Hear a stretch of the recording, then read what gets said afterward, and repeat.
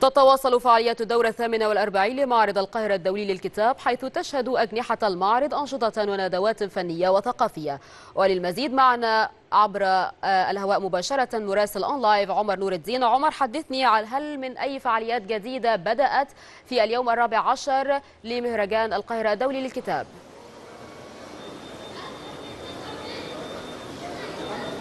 طيب نوران سأبدأ بفعالية هي تحدث الآن في الدور الثاني من هذه القاعة. القاعة الرئيسية قاعة صندوق التضامن الاجتماعي وهي في قاعة سهير القلماوي. ندوة بعنوان أو عن كتاب جدل الدين والحداثة للكاتب والفيلسوف صلاح سالم.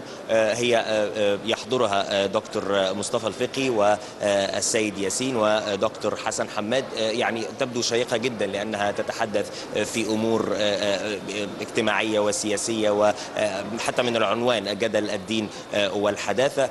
وربما في ما هو قادم هي بدأت تنتهي الساعة الثالثة.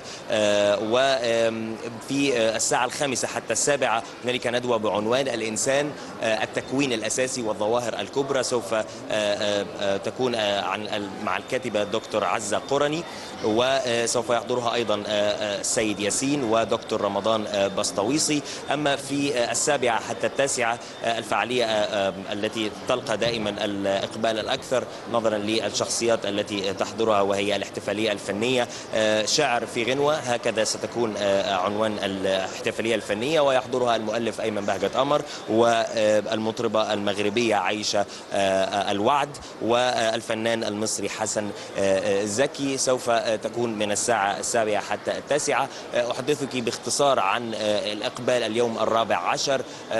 ربما الإقبال يعني هو كالعادة كنت هنا البارحة وكنت في ثاني أيام المعرض الإقبال كثيف من كافة الأعمار الأسر بأكملها تحضر. طبعا الشباب يتصدرون المشهد.